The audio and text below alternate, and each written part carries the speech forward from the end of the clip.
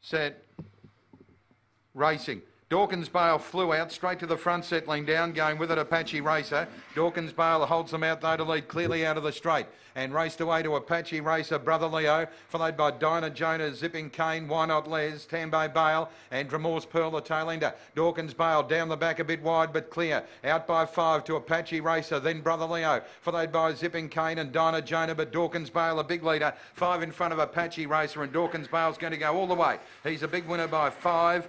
Uh, Zipping Kane has flown late at Apache Racer in a type 1 for the minor issue. Then Brother Leo, followed by Dinah Jonah. Further back, Why Not Les, Tambo Bale, and Dremor.